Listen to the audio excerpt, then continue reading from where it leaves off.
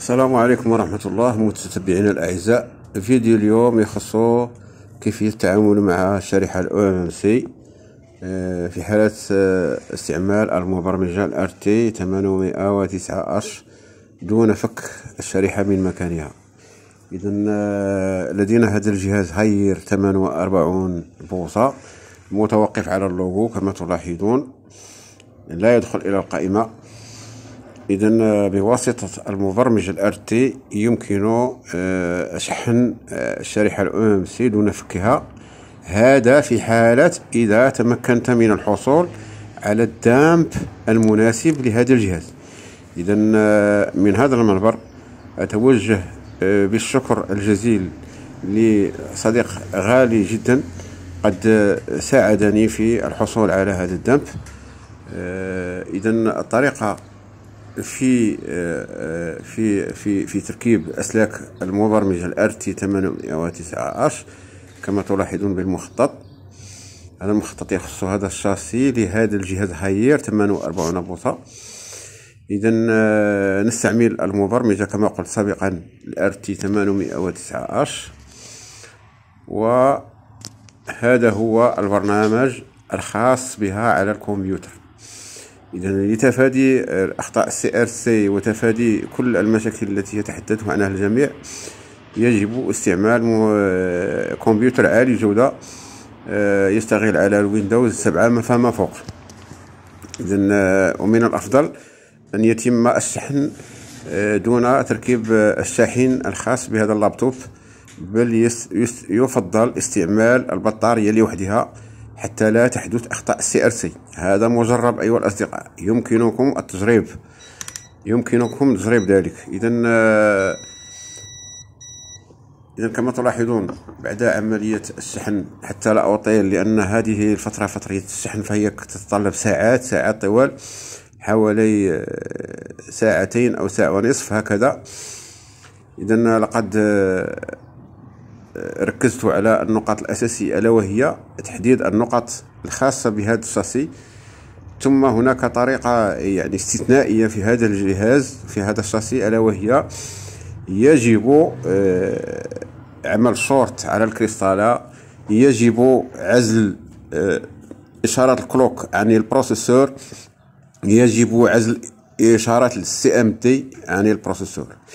بدون هذه العملية عملية القطع أو عزل هذه الإشارات عن ال processor فإن المبرمجة فإن المبرمجة عفوا لن تستطيع التعرف على هذه الشريحة. إذا تابعوا حتى نهاية هذا الفيديو وسوف تلاحظون أن العملية تمت بنجاح وشكرا لكم على المشاهدة.